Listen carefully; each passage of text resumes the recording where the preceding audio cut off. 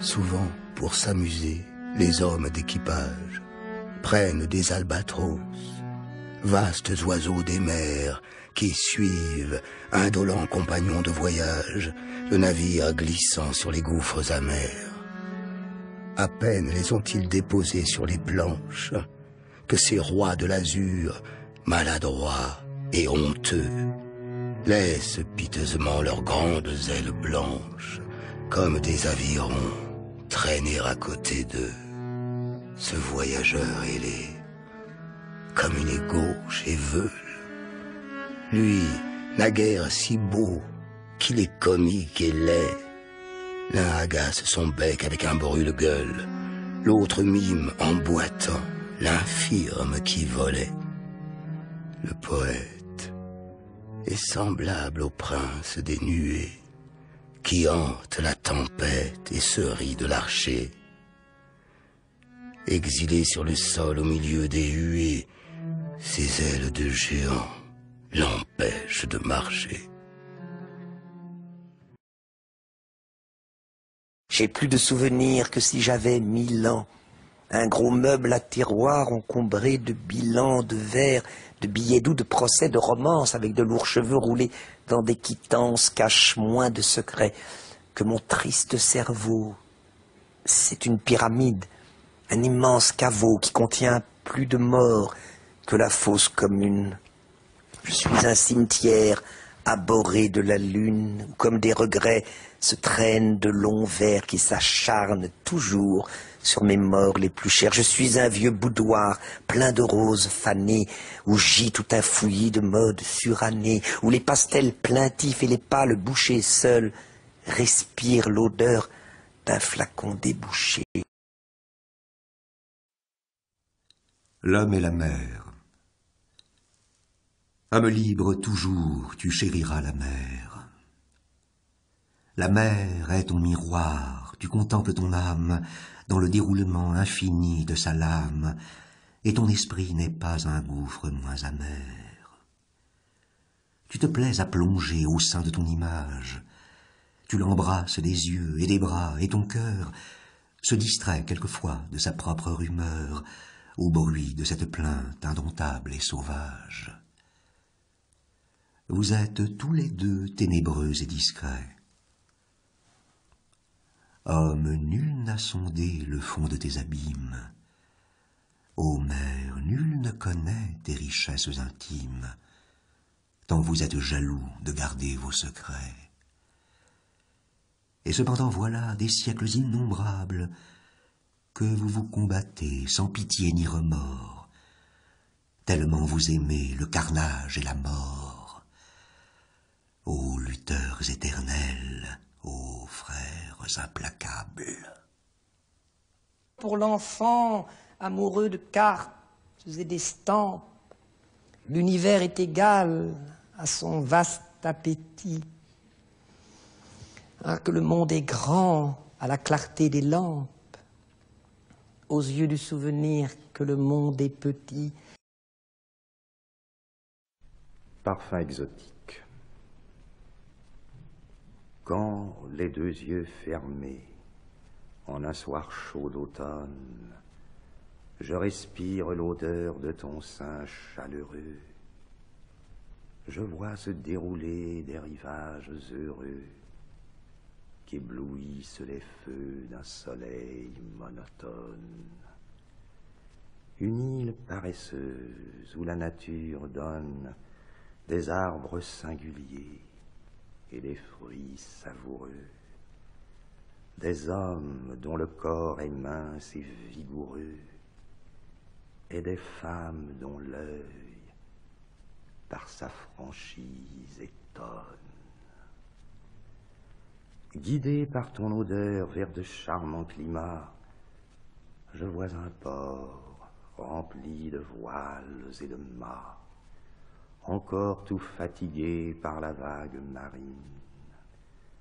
Pendant que le parfum des vers tamariniers qui circulent dans l'air et m'enfle la narine se mêle dans mon âme au chant des mariniers.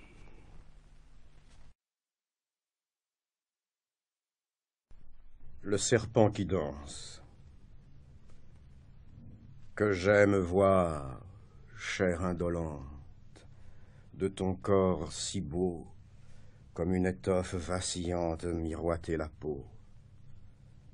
Sur ta chevelure profonde aux acres parfums, mer odorante et vagabonde aux flots bleus et bruns, comme un navire qui s'éveille au vent du matin, mon âme rêveuse appareille pour un ciel lointain. Tes yeux, où rien ne se révèle de doux ni d'amer, sont deux bijoux froids où se mêle l'or avec le fer. À te voir marcher en cadence, belle d'abandon, on dirait un serpent qui danse au bout d'un bâton.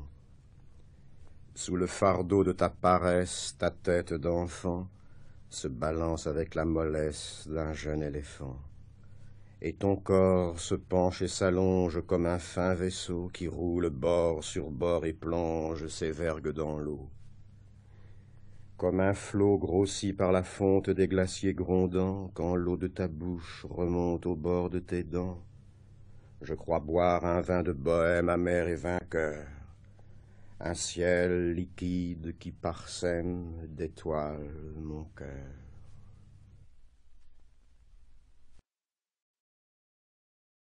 La musique souvent me prend comme une mer vers ma pâle étoile sous un plafond de brume ou dans un vaste éther, je mets à la voile. La poitrine en avant et les poumons gonflés comme de la toile.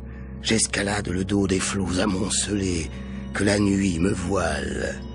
Je sens vibrer en moi toutes les passions d'un vaisseau qui souffre, le bon vent, la tempête et ses convulsions, sur l'immense gouffre me berce. D'autres fois, calme plat, grand miroir de mon désespoir. Une charogne. Rappelez-vous l'objet que nous vîmes, mon âme ce beau matin d'été si doux.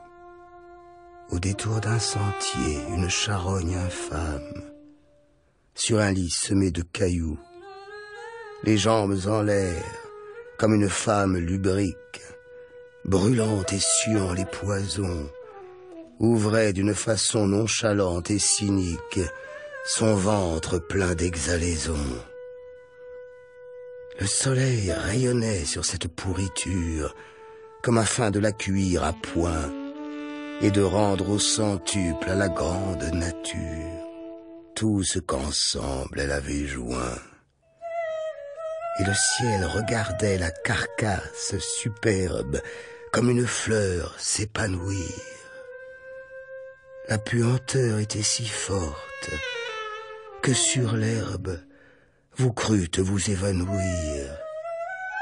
Les mouches bourdonnaient sur ce ventre putride, d'où sortaient de noirs bataillons de larves qui coulaient comme un épais liquide le long de ces vivants haillons. Tout cela descendait, montait comme une vague, ou s'élançait en pétillant. On eût dit que le corps, enflé d'un souffle vague, vivait en se multipliant. Et ce monde rendait une étrange musique, comme l'eau courante et le vent, ou le grain qu'un vanneur d'un mouvement rythmique agite et tourne dans son vent. Les formes s'effaçaient et n'étaient plus qu'un rêve, une ébauche lente à venir sur la toile oubliée et que l'artiste achève seulement par le souvenir. Derrière les rochers, une chienne inquiète nous regardait d'un œil fâché, épiant le moment de reprendre au squelette le morceau qu'elle avait lâché. Et pourtant vous serez semblable à cette ordure, à cette horrible infection. Étoile de mes yeux, soleil de ma nature, vous, mon ange et ma passion. Oui, telle vous serez, ô la reine des grâces. Après les derniers sacrements, quand vous irez sous l'herbe et les floraisons grasses, moisir parmi les ossements, alors, dites à la vermine qui vous mangera de baisers que j'ai gardé la forme et l'essence divine de mes amours décomposés.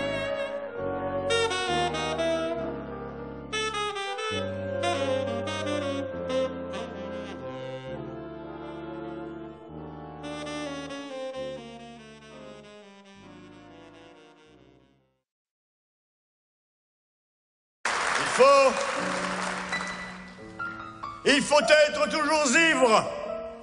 Tout est là, c'est l'unique question. Pour ne pas sentir l'horrible fardeau du temps qui brise vos épaules et vous penche vers la terre, il faut vous enivrer sans trêve. Mais de quoi? De vin? De poésie ou de vertu?